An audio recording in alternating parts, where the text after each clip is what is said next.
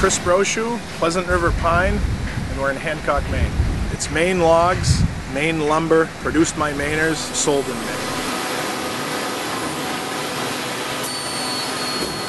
Basically, when the log comes in, we, uh, we, we debark the log, we saw it into lumber.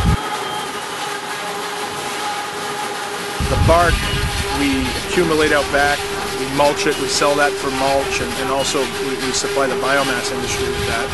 The sawdust we will be burning on site, and the chips we, we sell to the paper mill uh, so that they can make their product. So basically, the lumber that leaves here, 100% of it's utilized in a way.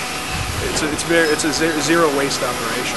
And we're also not burning fossil fuels. Uh, we're, we're, we're instead burning what we generate on site.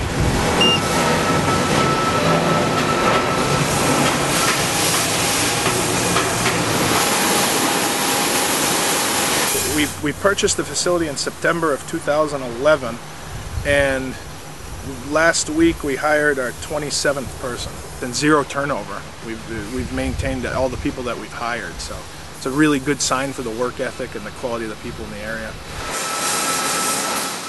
I see ourselves increasing production from 10 million feet up to 15 million feet. We will need to, our, our employment will probably go up to the 35 range. I see us doing some investment to our planer mill, making that more efficient. And uh, really, I, I see us just kind of maintaining where we're at here. We, we need to establish ourselves in the marketplace of Eastern White Pine because we, are new to the market. Our, our name is, uh, is known in, in the spruce market, in that lumber industry. So uh, we just need to establish our, our product and, and the quality of our product.